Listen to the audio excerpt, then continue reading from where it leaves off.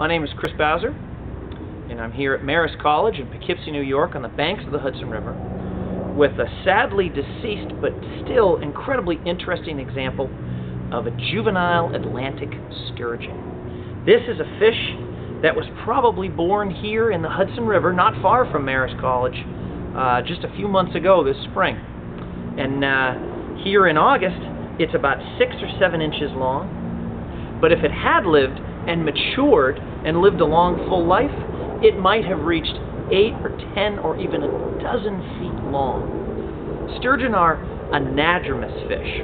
What that means is they're born in freshwater, and the Hudson River here, 80 miles from New York Harbor, is freshwater. But the Hudson's also an estuary with a direct connection to the sea.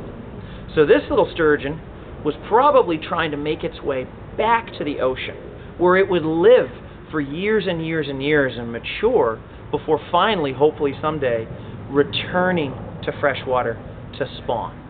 So that's what an anadromous fish is. It's a fish that spends part of its life in freshwater, part of its life in saltwater. Now, the sturgeon has some remarkable adaptations, some remarkable things that it has to help it survive.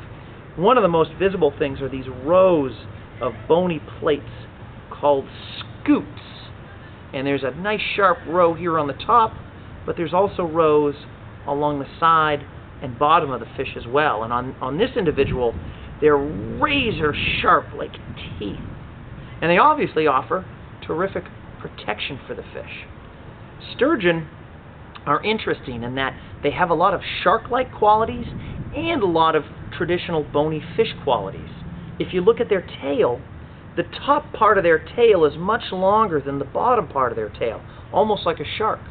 And in fact, if you were to look at the skeleton of the sturgeon, there's a lot of cartilage in that skeleton, just like sharks and their relatives. But there's also bone in here, and it shares a lot of traits with bony fish that we're more familiar with. This general body plan, the sturgeon family of fish, have been around for over 200 million years. That means when dinosaurs were out thumping around on land, sturgeon were cruising their way through the shallow seas and estuaries. Uh, just an incredible animal.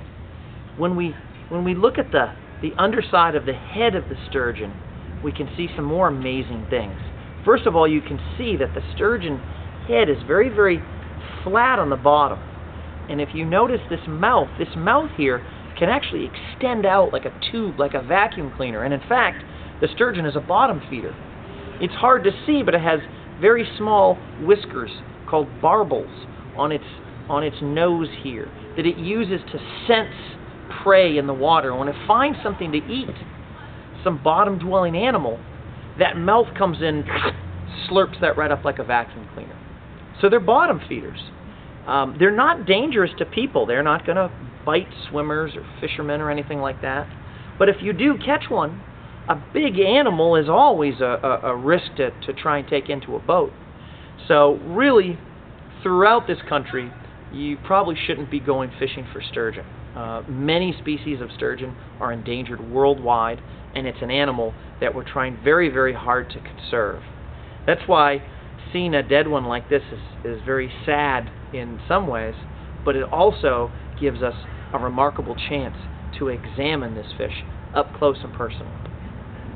That's the Atlantic sturgeon on the banks of the Hudson River in Poughkeepsie, New York.